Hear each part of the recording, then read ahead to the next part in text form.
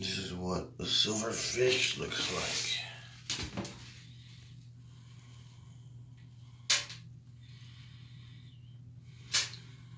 Then I can barely see.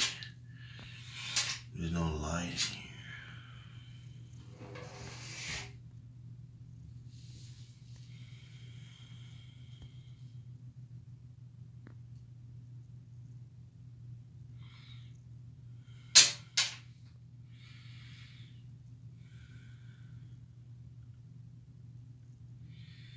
They're generally, generally pretty fast moving uh, bugs.